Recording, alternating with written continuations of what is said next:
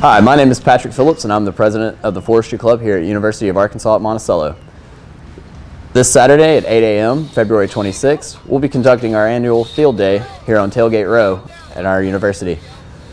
We'll be going through a lot of different physical events to determine who will compete in conclave. This event will be an exhibition match between members of our club as we compete against each other to see who will get to represent our university in these events when we do go to the Southern Forestry Conclave. Some of our events include crosscut, which will be done by men, women, and also a Jack and Jill.